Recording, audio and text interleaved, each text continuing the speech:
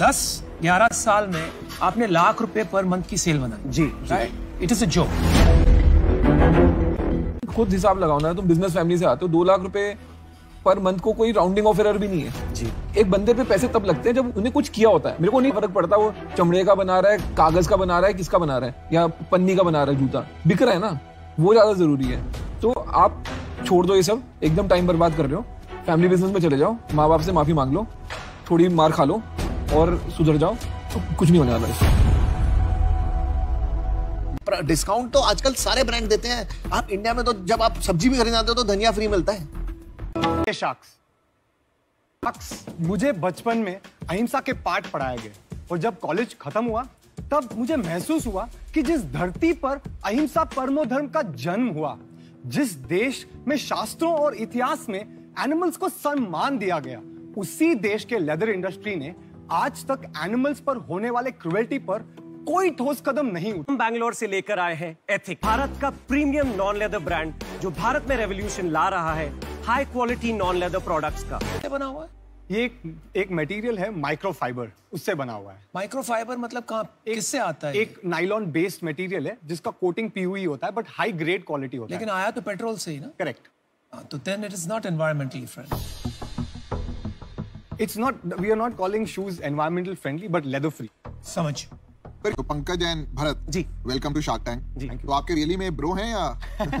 Friends बन गए बन गए। आप क्या को-फाउंडर हैं जस्ट टू क्लैरिफाई जी जी हाँ। तो आपका क्या मोटिवेशन वैसे तो मैं मुंबई से हूँ। आ, 2010-11 से एडवर्टाइजिंग बैकग्राउंड में था बट कुछ ही महीनों पहले मैं भी बैंगलोर शिफ्ट हुआ पंकज के साथ और क्लोजली इस प्रोजेक्ट पर काम करने के लिए आ, मेरा इंटेंशन ये था कि लाइफ में कुछ ऐसा करे कि बिज़नेस से ब्रांड की छलांग मारे।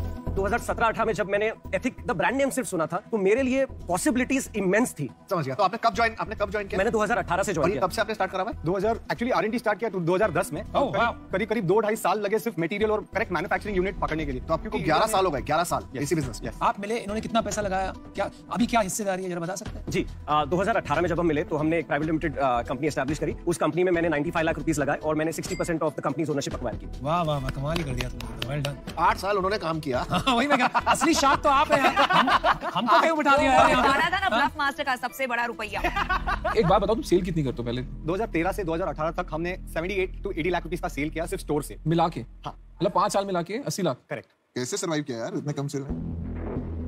एक्चुअली हम लोग बहुत अर्ली थे मार्केट के लिए। आपको भी पता होगा So 2012 13 That's 14 15 वीगन मा नाम के या नॉन लेदर का कुछ तो उसके, नहीं उसके बाद क्या हुआ? सेल्स को क्या हुआ? सो 2018 में जब से मैं जुड़ा इनके साथ तो हमने एक सबैटिकल लिया था बिकॉज़ ब्रेड एंड बटर तो एनीवेज पंकज का चल रहा था। ऐसा नहीं है कि स्टोर से जो कुछ भी आमदनी हो रही थी it was not enough but ठीक है और उसमें पुश करते शायद दो चार साल में आज की तारीख में दो तीन स्टोर हो भी जाते बैंगलोर में। ब्रो आपने जवाब नहीं दे रहे जी 19 में जब हमने फिर हमारी ऑनलाइन वेबसाइट पर काम करना शुरू किया हमने डिसाइड किया कि स्टोर का लिमिटेशन ये है कि कैपिटल इंटेंसिव है। भाई नंबर क्या था यार? जब नंबर कम होता है ना बात उतावले हो रहे हैं यार जनवरी 2020 से लेके अब तक हमारे सेल हुए 25 लाख रुपए के इंक्लूडिंग द लॉकडाउन नहीं अभी तक पच्चीस लाख। दो साल में दो साल। जन- जी, 23 महीनों में। 24 मंथ्स में। जी। क्या मेरे को एक बात बता जी बताइए सर। तो तुम्हारे माँ बाप ने अभी तक कूटा नहीं? तुमको? बहुत कूटा है।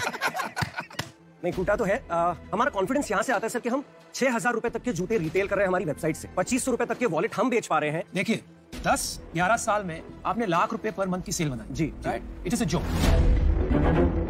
आप मानते हैं कि नहीं? मैं आपको शर्मिंदा नहीं कर रहा हूँ जी। बट इट इज़ अ एक नॉर्मल शू शॉप 20-25 लाख रुपए की सेल करता है। ठीक है? कोई भी कर सकता है। आपने इसकी मार्केटिंग तो कहीं करी नहीं है। मैं को 12 साल से हम में से किसी ने पाँचों ने किसी ने नाम ही नहीं सुना इसका। जैसे मैं आपको बोला कि स्टोर पे तो हम लोग ने कोई मार्केटिंग ही नहीं की थी। स्टोर छोड़ो लेकिन इन्फ्लुएंसर मार्केटिंग होती है। इन्फ्लुएंसर मार्केटिंग से किसी ने किसी सोशल मीडिया सेलिब्रिटी को देखा होगा। कहीं तो कुछ तो सुना हो इसका। कहीं सुना ही नहीं। नहीं किया। क्या बना ली है। बना ली बना आप बता दो पहले। यार देख कुछ नहीं धंधा कुछ धंधा ही नहीं मतलब दो लाख रुपए महीने पे? जी। तुम मतलब तुम यहाँ पे आए भी क्यों? मेरे को नहीं समझ आ रहा। मेरे को तो ऐसा लग रहा है कि थोड़ा सा इन्वेंट्री बच गई। लगा चलो ये इन्वेंट्री बिक तो नहीं रही। यहाँ पे लेके चलते हैं क्या पता कंपनी या शार्क टैंक के नाम पे कुछ बिक जाए। तुम खुद हिसाब लगाओ ना तुम बिज़नेस फैमिली से आते हो दो लाख रुपए पर मंथ को कोई राउंडिंग ऑफ़ एरर भी नहीं है। जी। एक बंदे पे पैसे तब लगते हैं जब उन्हें कुछ किया होता है। मेरे को नहीं फ़र्क पड़ता वो चमड़े का बना रहा है कागज़ का बना रहा है किसका बना रहा है या पन्नी का बना रहा है जूता। बिक रहा है ना? वो ज़्यादा ज़रूरी है। तो आप छोड़ दो ये सब एकदम टाइम बर्बाद कर रहे हो। फैमिली बिज़नेस में चले जाओ, माँ बाप से माफ़ी मांग लो, थोड़ी मार खा लो और सुधर जाओ तो कुछ नहीं होने वाला